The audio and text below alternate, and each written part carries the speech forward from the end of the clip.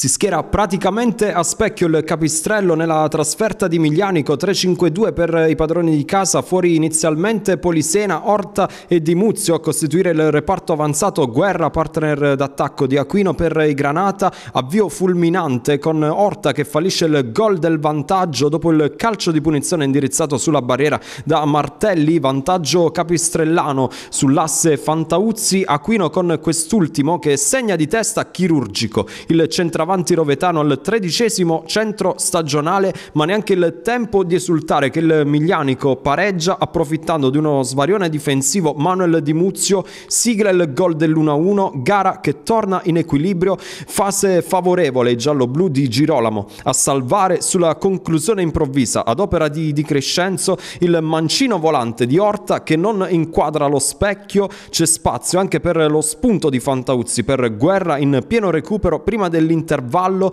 e reclama il capistrello. Nella ripresa per un presunto tocco di mano di Battista. Entra Polisena in luogo di, di Crescenzo e ha subito il pallone del 2-1, conclusione masticata. Sul secondo palo, quindi l'episodio del calcio di rigore formidabile di Girolamo su Antonio Polisena Venditti che gli sbarra la strada in maniera fallosa, calcio di rigore assegnato Battista, realizza il 2-1, stavolta di Girolamo non può nulla, mette in crisi da solo. Tutta la difesa capistrellana polisena eh, scombinata, poi Mario Orta che prova a piazzare il colpo del KO, non c'è più tempo, vince il Miglianico in rimonta al Fratelli Ciavatta, Capistrello sconfitto, 2 a 1. Allora, con Fabio Iodice è arrivata questa sconfitta, peraltro in rimonta, quanto eh, brucia? Ma brucia perché siamo andati in vantaggio, poi dopo 30 secondi abbiamo preso il gol, penso regalato da parte nostra, perché non puoi prendere quei, quei gol, quindi... però è chiaro che lo sapevamo di giocare su un campo difficile, quindi eh, ci, ci, può stare, anche se secondo me alla fine è una partita più da pareggio.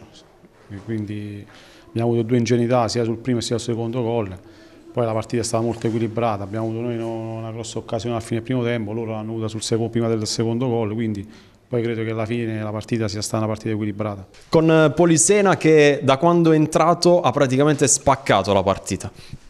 Buonasera, eh, oggi è stata una partita veramente dura.